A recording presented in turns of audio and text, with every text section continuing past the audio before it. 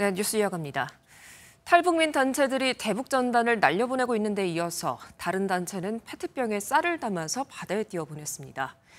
앞서 북한은 대북 전단 살포 시에 100배 오물로 보복하겠다고 예고를 했던 바 있는데 현재까지 특이 동향은 없는 상황입니다. 김세희 기자입니다. 탈북민 단체 결해열 통일연대가 어젯밤 강화도에서 대북 전단 20만 장을 살포했습니다.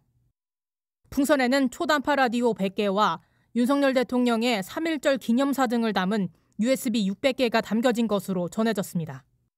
오전에는 다른 탈북민 단체가 쌀이 담긴 페트병 500개를 바다에 띄워 북한 황해도 쪽으로 보낸 것으로 나타났습니다. 페트병에 담긴 쌀은 총 500kg으로 각 페트병에는 쌀 1kg과 1달러 지폐, 영화와 한국 드라마가 담긴 USB가 담겨졌습니다. 조금이라도 도움이 됐으면 그런 바람입니다. 그분들이 어, 이런 배고픔을 조금이라도 달랠 수 있다면 계속해서 보낼 겁니다.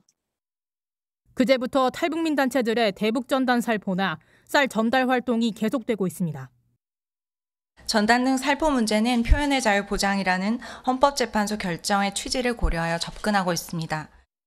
북한은 지난 2일 오물풍선 살포 잠정 중단을 선언하면서 대북 전단이 날라오면 100배의 휴지와 오물량으로 보복하겠다며 위협한 바 있습니다.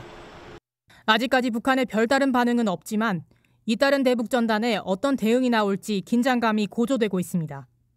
MBN 뉴스 김세입니다.